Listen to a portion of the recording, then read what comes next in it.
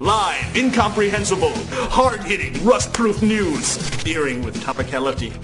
Did Tonight on TV23 Action News, Alan Concrete with a report on how things are a little more terrifying than you might imagine in the suburbs. Well, from what I can tell, the threat is imminent. Well, I don't want to say anything, but it doesn't seem to be that frightening where you are right now. Hello? Well, judging from the things I've seen around me, I'm... I'm sure the terror is coming any moment. It'll wrap your body in its tendrils and suck your life energy out. It's killing us. It's killing us out here. Well said, my newsworthy friend. Well said. The threat, the threat is tremendous.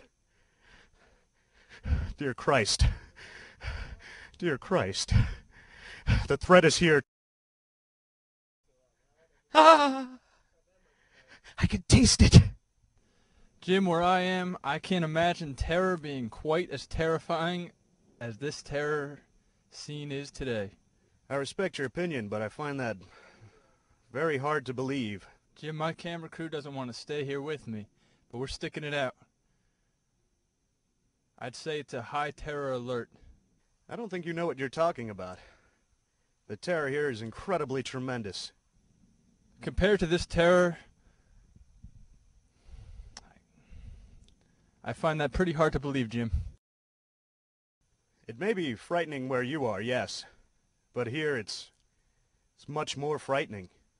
Well, I don't want to. I don't want uh, Alan to take this the wrong way, but it's, it's quite a possibility he may be exaggerating a bit. Imminent death is coming. Jim, that just sounds like a flat-out lie. Can you blame him, Bob? Can you blame him? I would like you to tell my wife and children that I love them very much, and that their dad is going to try and get home soon, going to try and get home safe. Jim, as you can see behind my left shoulder, there's quite a lot of terror. We'll leave it at that. Coming up next on TV23 Action News, embedded reporter Caleb Brody with a story you might not want to miss. Well, Bob, I'm actually embedded in a can of chicken noodle soup. TV23, the numbers don't lie, but we sure do.